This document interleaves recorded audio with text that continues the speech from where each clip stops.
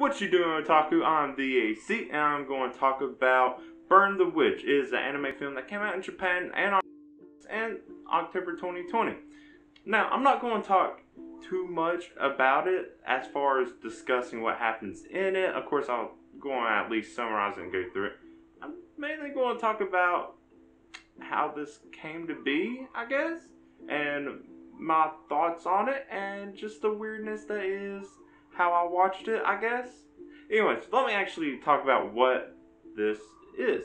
So, Burn the Witch follows two witches named Noel Niihashi and Ninny Spunko- Names are hard. I'm never going to get them. Anyways, so it follows these two witches and a place called Reverse London. There's a front London, which is just the normal human world, and then there's Reverse London, which is the reverse, the hidden side of London, where there's witches and all kinds of other supernatural stuff. And what they're doing is they kind of hunt, control, just kind of protect people from dragons.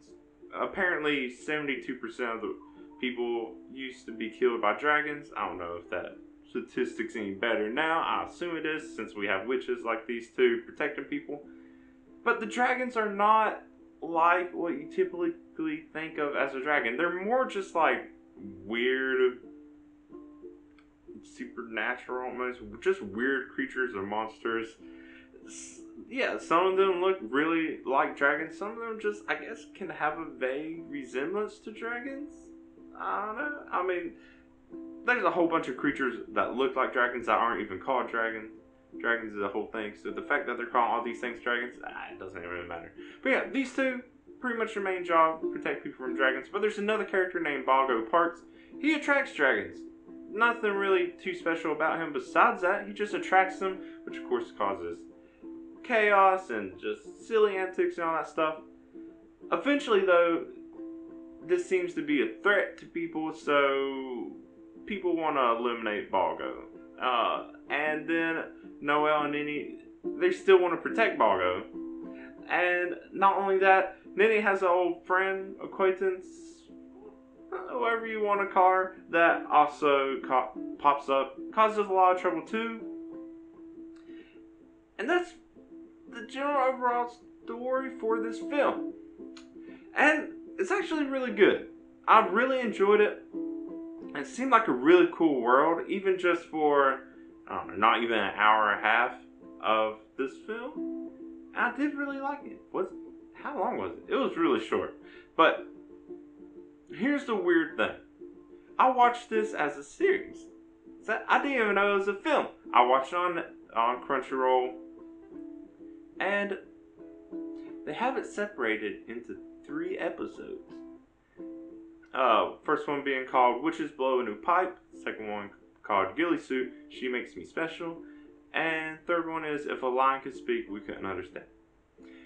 So I watched this with the mindset that this was going to be a series. I even say in my fall watch list for 2020 that I was looking forward to this series. It wasn't until like two weeks later right before I made this video, uh, I was like, huh, I haven't seen any new episodes of Burn the Witch. What's, what's going on with that? Looked it up and found out it was actually a film. Uh, now, I don't. I know I saw stuff about Burn the Witch in Crunchyroll's advertising. I guess I never really looked more beyond that. Because I, I had no idea. And yeah, I guess Crunchyroll did some advertising for it but I don't know. I just I expect it to be a series. It makes complete sense to be a series. But where this comes from is it's a it was a one shot by the Bleach creator. Not a huge Bleach fan. I would watch some episodes whenever they would pop up late at night. But that also means it takes place in the Bleach universe, which I also had no idea. I mean, I'm not a Bleach fan, so I guess I wouldn't know. But I don't know. The, little bit I did know about Bleach, it, I had no idea this also takes place in the universe. What I'm saying is, I had no idea about any of this. This was a completely new thing to me, and I still really enjoyed it. I hope it's a series. Um, but beyond the one shot, they uh, made a seasonal series of it. They would put out like a four issue chapter, and that's what's out so far. So I don't know how they're actually going to do this. It makes sense that they only did it as a film because they can't do a whole series and then pass the manga. I mean, they can. But it usually doesn't turn out well. But it's I don't know. It's a weird thing to me, and I do want to be a series. The whole world they make in this film, it, there's already so much to it, and it seemed like they were just going hit it running, just go for it. I mean, they already find a legendary dragon based off of Cinderella, and no, it was just really cool. I really enjoyed it. If you haven't watched it yet, watch it because it is worth it. But yeah, no, now I'm just like stuck in like this weird place of like, well, I want to watch more. I wanted this to be a series. When I was first watched all the anime on my watch list, this was the one I was looking forward to most. And then it turns out it's a film and I don't get it. I need to start looking into series more before I start watching. I, I never look into a series before I watch it. I want it to just be completely fresh and new to me. And then this is what happens.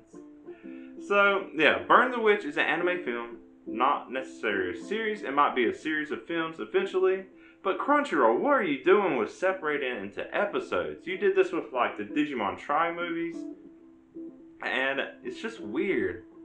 I mean, you have some anime films on your app. Why are you taking others and splitting them up? And you release them all at the same time, also. I don't get it. I don't know. This is just turning into a rant but I did want to just talk about Burn the Witch. There is a good story going on there. It's something new, something a little weird. Um, based in a Bleach universe, which I didn't know. So if you were a fan of Bleach, you're probably going like this. Still really different from what you see in Bleach, though. But you know.